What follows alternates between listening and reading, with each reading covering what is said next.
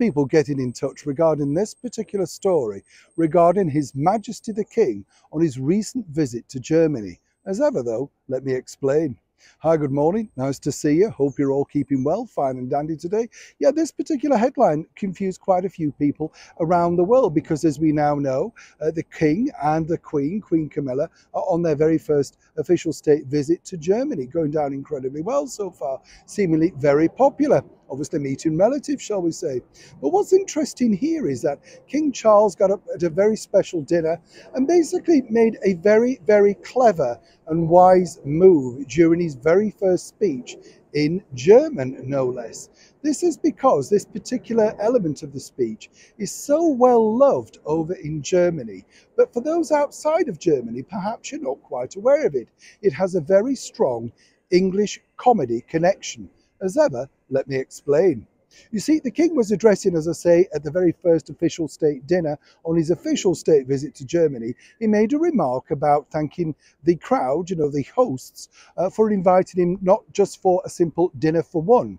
Dinner for One, let me tell you, is a very famous sketch by an English comedian called Freddie Frinton. He was born in Lincolnshire, Grimsby, and really, you know, is an underrated master of comedy.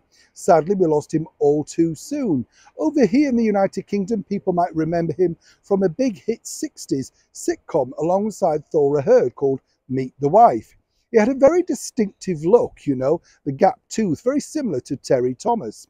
But it was this particular sketch, Dinner for One, that he first performed in the late 40s and 50s that really catapulted him to fame. It took off over in Germany so much that every New Year's Eve they basically run the sketch. They find this absolutely hilarious. It's about a butler with an elderly aristocrat and she invites these people for dinner. Four of them, but obviously there's no one there. He has to go along with it because she doesn't realize there's nobody there. She's too elderly. Each time he has a sip of the drink, he gets slightly more and more inebriated, as one can imagine. Very funny sketch indeed. Let me tell you though, as I say, Freddie himself, great comedy character, and he was very shrewd because in the 1950s, when he was performing this particular sketch at the Grand Theatre in Blackpool, no less, he decided once and for all to buy the sketch because every time he performed it, he had to pay out royalties. So he figured, well, why not buy it? Then that wouldn't be a problem.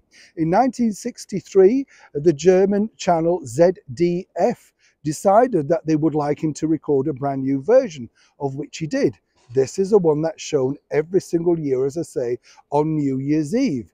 It made Freddie very rich indeed, as one can imagine, and allegedly so to this day in royalties. And that's the reason why His Majesty the King very shrewdly mentioned this particular sketch. But not only that, we are told that both he and Camilla often watch it and find it absolutely hilarious.